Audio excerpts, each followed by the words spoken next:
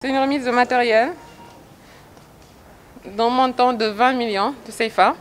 Euh, il y a 6 pouces seringues électriques, il y a 6 pompes à nutrition, un électrocardiographe, deux générateurs air chaud, réchauffement patient, 12 potences sérum, 14 matelas anti-escar, type alternating pour service de réanimation, 6 respirateurs d'urgence, un aspirateur à mycosité, un obus O2 pour transport, un éclairage médical plafonnier, 4 générateurs d'hémofiltration Ospal Prisma, un lot de produits de nutrition et un lot de consommables et dispositifs médicaux à usage unique. L'hôpital d'Alalgam est un, c'est un nouveau hôpital euh, qui a besoin de matériel.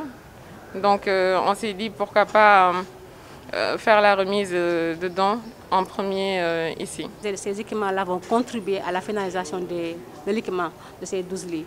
Ce qui fait que ça va augmenter notre capacité de prise en charge des cas graves. vous avez vu que dernièrement, il y a quand même une légère augmentation des cas graves au niveau de la prise en charge. Donc ce matériel, effectivement, nous sera d'une grande, très grande utilité. Et comme l'a dit tout à l'heure Madame la Directrice, c'est un, un, un, appui composé d'équipements médicaux, de matériel médical, de consommables et surtout de produits de nutrition destinés aux malades qui sont hospitalisés à la réanimation. Au niveau des sites hospitaliers, Daladjam est le plus grand centre avec 216 patients qui sont déjà hospitalisés. Et ces patients ont besoin de soins.